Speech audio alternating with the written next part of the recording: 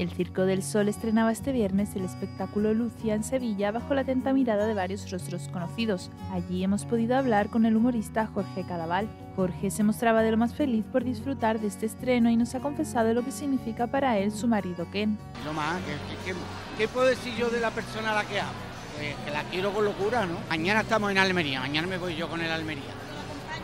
Mañana estoy yo ahí en los premios Carmen, pero es que hoy tenía él una presentación en Huelva. El humorista ha confesado que le encanta este tipo de espectáculos y lo recomienda a todo el público. A mí es que el Circo del Sol me encanta. Yo le recomiendo a cualquiera que pueda y tenga una oportunidad de cruzar el charco, irse a Las Vegas, a ver los Beatles, acá o agua, cualquiera de ellos que no, no dan la vuelta por el mundo, que son alucinantes.